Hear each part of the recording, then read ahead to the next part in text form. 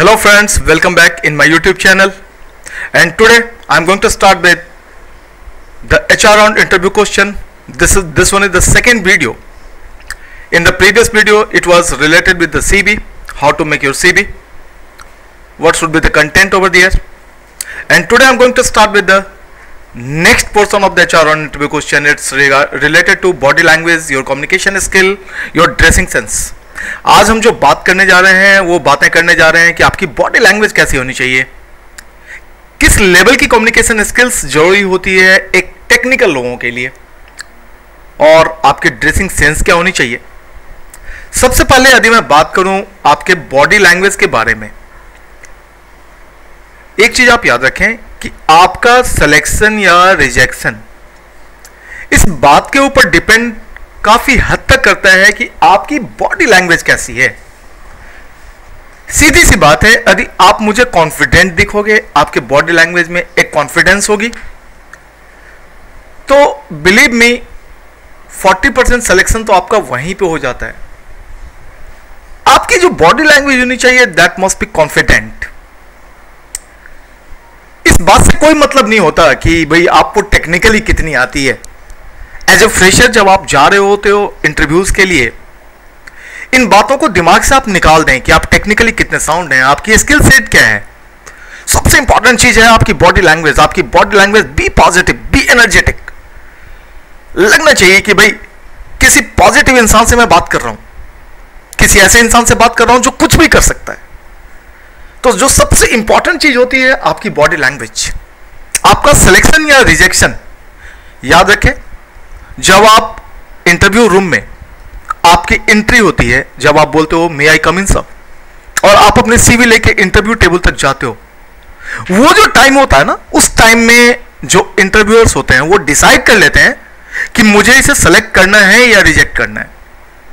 Believe me आपकी वो जो पाँच से दस सेकंड की आपकी जो एंट्री होती है और जब आप जाके चेयर पर बैठते हो वो जो आपकी फ़र्स्ट इंप्रेशन होती है, हम बोलते हैं ना कि first impression is the last impression and again एक चीज़ हम और बोलते हैं कि you will never get the second chance to make the first impression याद रखें, आपकी जो अपेयरेंस होती है, आप जिस वे में आते हो, जिस अंदाज में आते हो, और जिस तरह से आप आके ग्रीटिंग्स करते हो गुड मॉर्निंग गुड इवनिंग जिस तरह से आप चेयर पे बैठते हो, ये चीज़ें मैटर करती है. ये मैं आपको अपने अनुभव की बातें बता रहा हूँ. जब आप इंटरव्यूज़ के लिए आते हो, आपको देखने के बाद मेरे दिमाग में एक इमेज बनती है। और वो इमेज ये बनती है कि इसे सिलेक्ट करना है या रिजेक्ट करना है। यदि मैं ये सोच के बैठ जाऊँगा कि आपको सिलेक्ट करनी है तो जो क्वेश्चन होंगे that will be the positive questions यदि मुझे ये सोच लेना है कि नहीं यार, किसी भी तरह से इसको तो मुझे सिलेक्ट करना ही नहीं है। That question will be the negative questions वहाँ पे मैं आपसे तमाम ऐसे सवाल पूछूँगा जिसका कोई जवाब ही नहीं है। My question will be okay आपको जावा आती है। Okay tell me why Java का मतलब क्या है? अब ऐसा जावा का मतलब क्या है? No one can tell you मैं आपसे बात करूँगा कि ओके आपको ओरेकल आती है। अच्छा ये बता दो ओरेकल का नाम ओरेकल क्यों है? भाई, आपका नाम मनीष क्यों है? आपका नाम संजय क्यों है? इस बात का कोई जवाब है? तो मैं आपको बताऊँ कि ये जो चीज़ें होती है ना, ये एक पॉजिटिव और नेगेटिव इंप्रेशन होती है। और ये आती है आपके बॉडी लैंग्वेज के कारण। तो सबसे ज़रूरी चीज़ हमारे लिए ये होती है कि आपकी बॉडी लैंग्वेज कॉन्फिडेंट हो। आपको कितना आता है, कितना नहीं आता है, ये मेरे लिए मैटर बाद में करता है। आपकी जो एंट्री है, आपकी जो अपियरेंस है, आप जिस वे में आते हो, आपकी बॉडी लैंग्वेज हमेशा मुझे ऐसी लगनी चाहिए कि मैं किसी स्मार्ट आदमी से बात कर रहा हूँ। आपकी बॉडी लैंग्वेज ऐसी लगनी चाहिए जिससे मुझे यह लगे कि मैं किसी पॉजिटिव किसी ज़िंदा इंसान से बात कर रहा हूँ। मैंने अक्सर देखा है, लोग जब इंटरव्यूज़ के लिए जाते हैं, इतनी सारी प्रेशर होती है चेहरे पे। लगता है कि पता नहीं मतलब सामने वाले ने उससे किडनी मांग लिया या लीवर मांग लिया, समझ में नहीं आता मुझे। आप जब इंटरव्यू के लिए जा रहे होते हो आप एक फ्रेशर हो। आप इंटरव्यूज़ के लिए जा रहे हो। नथिंग टू लूज आपके पास खोने के लिए कुछ नहीं है। पाने के लिए आपके पास सब कुछ है। फिर किस बात की परेशानी है? भाई, एक बात बताओ, आप पॉजिटिव हो कि आप इंटरव्यू देने के लिए जाओगे? तो नेचुरली मैं भी आपसे दो चार अच्छी सवाल करूँगा। मुझे भी लगेगा, यार, मैं सामने जिस इंसान से बात कर रहा हूँ रिस्पॉन्सिव वो रिस्पॉन्स दे रहा है। लेकिन कई बार ऐसा लगता है हम इतना घबराए हुए होते हैं, हम इतना परेशान दिख रहे होते हैं, चेहरे से पसीने आ रही होती हैं। हम एसी वाले रूम में बैठे होते हैं और पसीना, भाई हम परेशान रहते हैं। हमें लगता है कि पता नहीं सामने वाला क्या पूछ देगा। सबसे पहले आप इस बात के लिए कॉन्फिडेंट हो जाएँगे, सामने वाला आपसे कुछ नहीं पूछेगा। एक बात आप याद रखें कि आप वहाँ पे इसीलिए हो क्योंकि कंपनी की रिक्वायरमेंट है। कंपनी को लोग चाहिए जो उनके प्रोजेक्ट्स पे काम कर पाए। ऐसा नहीं है कि आपको जॉब मिले, ये केवल आपकी रिक्वायरमेंट है। ये विन विन सिचुएशन होता है। Company is looking for the professionals और आपको क्या चाहिए? आपको जॉब चाहिए। तो ये विन विन सिचुएशन होता है। आप उस लायक हो, इसीलिए आप वहाँ पे हो। यदि आप उस लायक नहीं होते तो आप उस रूम के अंदर होते ही नहीं। तो आप अपने आप में वो विश्वास पैदा करें कि नहीं I can do it I can do it I can do it और जब कभी भी आपको ये लगे ना कि भाई इंटरव्यू में आप बड़ा प्रेशर सा फील कर रहे हो, आपको लग रहा है, यार, कैसे होगा, क्या होगा, सामने वाला क्या पूछ देगा? मेरे इस बात को हमेशा याद रखें। आपको बस अपने दिमाग में एक बात बैठानी है। वो बात ये बैठानी है कि भाई, मैं जहाँ पे जा रहा हूँ, जिस जगह पे जा रहा हूँ, यदि मेरा सिलेक्शन होना है तो होके ही रहेगा, कोई रोक नहीं सकता। डेस्टिनी भी कोई चीज़ होती है। भाई, आपकी डेस्टिनी यदि होगी उस कंपनी में, वहाँ के वहाँ के पानी के के ऊपर, वहाँ के चाय के ऊपर, यदि आपका नाम लिखा होगा, वहाँ के टेबल पे, वहाँ के चेयर पे, वहाँ पे कंप्यूटर्स पे, यदि आप कहीं ना कहीं होंगे तो उस जगह पे आप खुद ब खुद पहुँच जाएँगे। इसलिए इस बात का टेंशन ले ही ना कि आपका सिलेक्शन होगा या रिजेक्शन होगा। बी रिलैक्स बी कंफर्टेबल आप आराम से जाएँ कूल होके जाएँ, चेहरे पे एक स्माइल हो। चेहरे पे टेंशन ना हो। चेहरे पे एक स्माइल हो, एक प्लीजेंट सा स्माइल हो, जाके आप आराम से जाएँ। मे आई कम सो आराम से बात करें, आप अंदर जाएँ। ग्रीटिंग्स करें, जो भी गुड मॉर्निंग गुड इवनिंग आप जो भी करते हो। आप आराम से चेयर लें, आराम से बैठें। Be relax and comfortable that is the body language जो कि आपको वहाँ पे कैरी ऑन करना है। और इस बात को तो छोड़ ही दें कि आपका सिलेक्शन होगा या रिजेक्शन होगा। ये सिलेक्शन और, भाई देखो, बहुत सारी ऐसी बातें होती हैं जो हम कहीं से भी सीख सकते हैं। हमारे गीता में भी लिखा हुआ है, भाई हमें अपने कर्म करने हैं, फल की टेंशन तो करनी ही नहीं है। क्यों सोच रहे हो कि तुम्हारा सिलेक्शन होगा या रिजेक्शन होगा?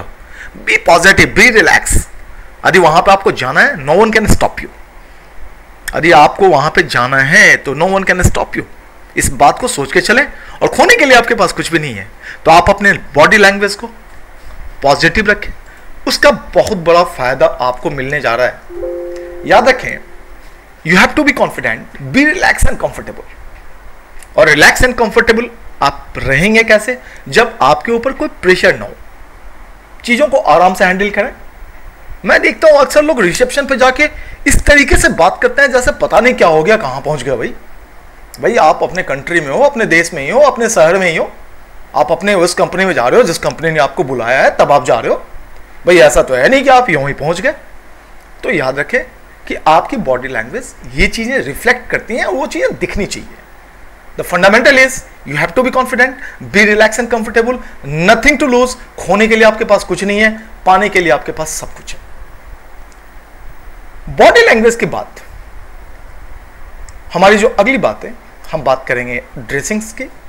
मैंने अक्सर सुना है कि भाई ड्रेसिंग सेंस के मामले में अक्सर लोग हमें बताते हैं, भाई, आप इंटरव्यू के लिए जा रहे हो। आप ये पहन के जाओ, ये कैजुअल और ये शूज़ और ये आपकी शर्ट्स जो हैं इस कलर के होने चाहिए, आपके ट्राउजर्स इस कलर के होने चाहिए। जी, वो जमाना चला गया।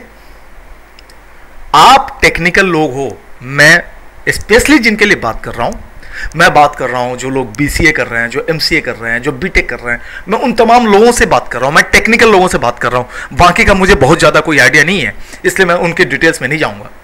तो मैं जो बात कर रहा हूँ कि आप जब इंटरव्यूज़ के लिए जा रहे हो तो जो आपके ड्रेसिंग होनी चाहिए, आप जो भी ड्रेसअप करके जाते हो, वो मैटर नहीं करता। मैटर सिर्फ़ ये करता है कि वो थोड़ा सा मतलब वो उसकी ड्रेसिंग जो होनी चाहिए, वो थोड़ा सा एक जेंटलमैन वाली लुक आनी चाहिए। एक लगने चाहिए। देखो, आप जिस प्रोफेशन में जा रहे हो, इस प्रोफेशन के अंदर ना, जो आप आप भाई, आप बोलते हो आप सॉफ्टवेयर इंजीनियर कितना अच्छा लगता है ना सुनने में सॉफ्टवेयर इंजीनियर बड़ा अच्छा सा ये वर्ड लगता है सुनने में। याद रखें ये इंडस्ट्री भी कुछ वैसा ही है। जब आप अंदर जाओगे, वहाँ पर बड़े स्टाइलिश लोग आपको मिलेंगे। तो आप मेरी बातों को विश्वास करें कि आपकी जो ड्रेसिंग सेंस होनी चाहिए, आप जो भी पहन के जाते हो हाँ सूज ज़रूर होनी चाहिए। अब आप पता लगा स्लीपर में पहुँच गए, वहाँ it's not makes the sense और एक बात और ध्यान रखें कि भाई, आपकी ड्रेसिंग प्रॉपर होनी चाहिए। हाँ आप जो भी पहने, आप जींस पहन के जाएँ, आप शर्ट्स पहन के जाएँ, आप जो कुछ भी, लेकिन आपकी वो प्रॉपर होनी चाहिए प्रॉपर अंडर सेटिंग होनी चाहिए। ठीक है भाई आप अंडर सेटिंग नहीं भी करते तो भी, भी रिलैक्स एंड कंफर्टेबल आप आराम से अंदर जाएँ। बहुत ज़्यादा इस बात को लेकर टेंशन नहीं लेनी कि आपने कौन से शूज़ पहन ली आपने कौन सी शर्ट पहन ली। इन बातों को लेकर बहुत ज़्यादा टेंशन लेने की ज़रूरत नहीं है। तीसरी बात मैं बात करूँगा आपके कम्युनिकेशन स्किल्स के ऊपर। अक्सर मैंने सुना है और मैंने इस चीज़ों को देखा है कि हम लोग बहुत ज़्यादा परेशान रहते हैं इस बात को लेके कि हमारी कम्युनिकेशन स्किल अच्छी नहीं है। याद रखें कि इनिशियली एज ए फ्रेशर जब आप इंटरव्यूज़ के लिए जाते हो, ये चीज़ आपके ऊपर इतनी हावी रहती है ना, कि इसके कारण ना तो आप कुछ बोल पाते हो, ना कुछ सुन पाते हो। सामने वाला आदि तरीके से पूछ देना कि आपसे हाँ ये गुड नेम प्लीज़ तो हमारे मुँह से ए निकलता है, नाम बाद में निकलता है। पहले निकलेगा ए अच्छा नाम। फिर आप बोलोगे, या माई नेम इज़ ये इतनी परेशान क्यों है आप? मैं बात कर रहा हूँ आपकी कम्युनिकेशन स्किल्स की। आप कॉल सेंटर्स के जॉब के लिए नहीं जा रहे हैं। आप टेक्निकल लोग हैं। टेक्निकली इतनी बातें आपको पता होना चाहिए कि आप चीज़ों को समझ जाए, उसको रिस्पॉन्ड कर दें। आप इसको लेकर इतना प्रेशर फील क्यों कर रहे हो? और विश्वास करें, मैं कुछ चीज़ें आपको बता रहा हूँ, कुछ टिप्स दे रहा हूँ, जिनको यदि आप फॉलो करेंगे तो आपकी कम्युनिकेशन स्किल नेचुरली इंप्रूव कर जाएगी। देखिए, अच्छी कम्युनिकेशन स्किल तो चाहिए। भाई, जितनी अच्छी आपकी कम्युनिकेशन स्किल रहेगी, आप ज़िंदगी में उतनी तरक्की करोगे। आप ज़िंदगी में उतना आगे जाओगे। लेकिन मैं बात कर रहा हूँ, एक फ्रेशर लेवल पे जब आप इंटरव्यूज़ के लिए जा रहे हो, अब ये नहीं हो सकता कि रातों रात आपकी इंटरव्यू कम्युनिकेशन स्किल इंप्रूव कर जाएगी। अब कम्युनिकेशन स्किल इंप्रूव करना, ये एक स्पॉन्टेनियस प्रोसेस मतलब ये एक रेगुलर प्रोसेस है। रेगुलर प्रोसेस का मतलब आपको शुरू से इस बात पर ध्यान रखनी होगी कि आपकी कम्युनिकेशन स्किल थोड़ी सी इंप्रूव हो, और बहुत ज़्यादा इसको लेकर पैनिक होने की ज़रूरत नहीं है। भाई, इतना तो आप बता ही सकते हो जब आप वहाँ पर जाते हो मे आई कम इन जब आप अंदर जाते हो good morning sir good morning ma'am आप इतनी बातें तो कर ही सकते हो। बात ही बात में आप थैंक्स तो बोल ही सकते हो। बात ही बात में आप एक्सक्यूज में तो बोल ही सकते हो। विश्वास करें मेरी बातों का। Please sorry excuse me thank you इन चार पाँच छह मैनर्स वाले जो वर्ड्स हैं ना, इनको बोलना आप शुरू कर दें, आपकी कम्युनिकेशन स्किल खुद ब खुद इंप्रूव करने लगी जहाँ पे भी कोई प्रॉब्लम हो, जहाँ पे भी तो sorry thank you excuse me please ये सारे जो वर्ड्स हैं ना, बड़े अच्छे वर्ड्स हैं, अंग्रेज़ों ने बड़े अच्छे शब्द दे दिए ये। और खास करके उन तमाम लोगों के लिए जिनकी कम्युनिकेशन स्किल्स में प्रॉब्लम है, उन लोगों के लिए एक बड़ी अच्छी टिप्स है कि जब आप इंटरव्यूज़ के लिए जाते हो, इन सारे वर्ड्स को यूज़ करो। हाँ सामने वाला क्या बोल रहा है? उनकी बातों को आप सुने और उसमें में आप रिस्पॉन्ड करें। इंटरव्यूज़ के अंदर कुछ क्वेश्चंस तो ऐसे होते हैं जो बड़े फिक्स टाइप के क्वेश्चंस होते हैं। मैं डिस्कस करूँगा कि कौन कौन से क्वेश्चंस होते हैं जो फिक्स्ड हैं जो उसके आंसर्स आपको देने क्या है। आई विल डिस्कस दैट लेकिन मैं अभी फ़िलहाल के लिए बात कर रहा हूँ कि जब आप जाते हो तो आप जो ये फंडामेंटल्स हैं लाइक सामने वाले से बात करना एक्सक्यूज मी सर अब वहाँ पे जाके हाँ भाई, सुनना। अब हाँ भाई, सुनना जाके नहीं बोलना है। एक्सक्यूज मी सर अब आप वहाँ पे excuse me sorry thank you please यदि इन सारी बातों को ही बोलना शुरू कर देंगे, आप खुद फील करोगे कि आपकी कम्युनिकेशन स्किल में काफ़ी चीज़ें इंप्रूव कर रही हैं। और मैं आपको एक टिप्स देता हूँ उन तमाम लोगों के लिए जो इंटरव्यूज़ के लिए जाने की कोशिश कर रहे हैं या जाने वाले हैं, या जिनको ये लगता है कि उनकी कम्युनिकेशन स्किल्स में कहीं ना कहीं प्रॉब्लम है, मैं एक टिप्स दे रहा हूँ, आप कुछ ना करें। मिरर के सामने खड़े होके आप कुछ सवाल का जवाब क्वेश्चंस खुद आप खुद से कुछ सवाल आप खुद से करें और उसका जवाब भी आप खुद से ही दें। मिरर के सामने खड़े होके और ज़ोर ज़ोर से बोलें। विश्वास करें, आपकी कम्युनिकेशन स्किल 10 से 15 दिन में काफ़ी अच्छी हो जाएगी। इंटरव्यूज़ के कुछ क्वेश्चंस होते हैं जो फिक्स पैटर्न होते हैं, जिन, अब जैसे tell me something about yourself your good name please tell me something about your educational background what are the technical skills you are having can you describe about the SQL server can you tell me something about the Java अब ये जो question है, आप बड़े common से question आप पूछें। इन question को आप मिरर के सामने खड़े होकर इसका जवाब दें। तो उससे आपकी कम्युनिकेशन स्किल इंप्रूव कर जाएगी, लेकिन इसको लेके बहुत ज़्यादा पैनिक होने की ज़रूरत नहीं है। आप इंटरव्यूज़ में आराम से जाएँ, आराम से बैठें। सामने वाला ने क्वेश्चन करा कि okay tell me about the assemblies what is assembly अब वहाँ पे आपको ये बोलने की ज़रूरत नहीं है can I speak in Hindi भाई, आप हिंदी में बोलो, बोलने की ज़रूरत नहीं है। और मैं यहाँ पे एक और आपको टिप्स दूँगा कि आपको हिंदी नहीं बोलनी। भाई, आपको इंग्लिश नहीं आती, कोई बात नहीं। इंग्लिश मत बोलो, लेकिन आपको हिंदी में नहीं बोलनी। आपको इंग्लिश बोलनी है। Sorry excuse me thank you please English को इंग्लिश के वर्ड्स को हिंदी के साथ मिक्स करो। ये आजकल के डेट में ना, उन तमाम लोगों के लिए एक बड़ी अच्छी चीज़ है। भाई, आप इंग्लिश और हिंदी मिक्स करके आप अपनी बातों को सामने रखें। अब जैसे सामने वाले ने पूछा okay what is assembly now you need to give the answer अब इस क्वेश्चन का जवाब आप कैसे दोगे? भाई, आपको लग रहा है यार इंग्लिश में बोलूँगा तो मैं फंस जाऊँगा, या चीज़ें याद नहीं है, या मैं बता नहीं पा रहा हूँ। आप इस सवाल का जवाब हिंदी हिंदी में दें, लेकिन हिंदी के बीच में आप इंग्लिश वर्ड को वहाँ पे मिक्स करें। तो ये भी एक पॉजिटिव रिस्पॉन्स होता है और ये भी एक अच्छी चीज़ होती है। और याद रखें, जो लोग आपके इंटरव्यू ले रहे होते हैं, जो फ़र्स्ट राउंड की जो इंटरव्यूज़ होती हैं, उसमें जो लोग होते हैं मोरलेस वो आपके टीम लीड होते हैं, जिनके टीम में आप जाओगे, वो टेक्निकली आपके इंटरव्यूज़ ले रहे होते हैं तो टीम लीड को इस बात से मतलब होता है कि आप टेक्निकली कितने साउंड हो? तो वहाँ पे वो टेक्निकल सवाल आपसे पूछे। यदि आपको लगता है कि आप सवाल का जवाब दे सकते हो तो इस बात के लिए हेजिटेट मत करो कि आप हिंदी में बोल रहे हो और इंग्लिश में बोल रहे हो। और ये पूछने की ज़रूरत नहीं है can you speak in Hindi भाई ये सब पूछो मत। आप एक काम करो कि आप हिंदी में बोलना शुरू कर दो। लेकिन हाँ हिंदी नहीं बोलनी है। हिंदी प्लस इंग्लिश इंग्लिश बोलनी है आपको। दोनों के कॉम्बिनेशन बोलनी है। Sorry excuse me thank you please जहाँ लगा सकते हो, लगा दो। नंबर वन नंबर टू ये तो हो गई मैंने बात करी आपकी बॉडी लैंग्वेज आपकी ड्रेसिंग और आपकी कम्युनिकेशन ऐसा नहीं है कि मैं ये नहीं बोल रहा हूँ कि भाई आपकी कम्युनिकेशन स्किल अच्छी नहीं होनी चाहिए। मैं तो बस आपको टिप्स दे रहा हूँ कि भाई आपकी कम्युनिकेशन स्किल यदि बहुत अच्छी नहीं है तो रातों रात तो वो इंप्रूव होगी नहीं, लेकिन आपको इंटरव्यू में तो जाना है। अब ऐसा तो है नहीं कि आप जॉब के लिए इंतज़ार करोगे कि पहले जाके किसी इंग्लिश स्पोकन सेंटर्स में जाके पहले इंग्लिश इंप्रूव करोगे, वैसे इंग्लिश इंप्रूव नहीं होती डियर आप थोड़ी सी अपनी जो कुछ ना करें, आप थोड़ा सा अधिक बोलने की कोशिश करेंगे, आप मिरर के सामने खड़ा होकर प्रैक्टिस करेंगे, आपकी कम्युनिकेशन स्किल इंप्रूव कर जाएगी। आप जो भी बोलें, वो कॉन्फिडेंटली बोलें।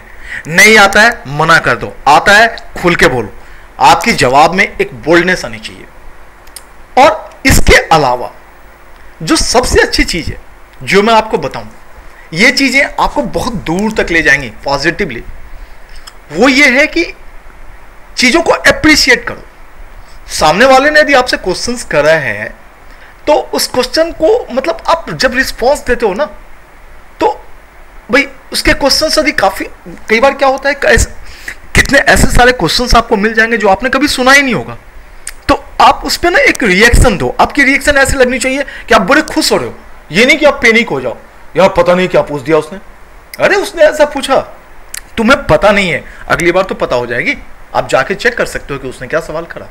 तो मेरे कहने का मतलब यह है कि be positive be relax comfortable आपको जो आता है, वही बातें करो।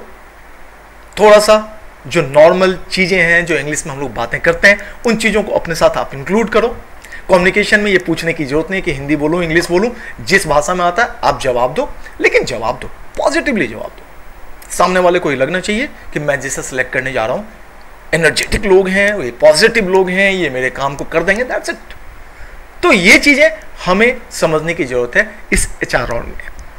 जो हमारी अगली वीडियो होगी, उस अगली वीडियो में मैं बात करूँगा कि एच आर राउंड के अंदर क्या क्या क्वेश्चंस होते हैं, कुछ फिक्स क्वेश्चन होते हैं, उस क्वेश्चंस के क्या जवाब आपको देने हैं तो कौन कौन से क्वेश्चंस होंगे, उसके आंसर्स आपको क्या देना है, इसके बारे में मैं आपसे डिस्कस करूँगा in the next video for the time being आप इस वीडियो को देखें। यदि आपने सीवी अपनी नहीं बनाई है, और यदि आपने बना ली है तो जो हमारी प्रीवियस वीडियो है, उस वीडियो को देख के आप देख सकते हो कि सीरीज़ के अंदर आपको क्या क्या चीज़ें डालनी है वहाँ पे।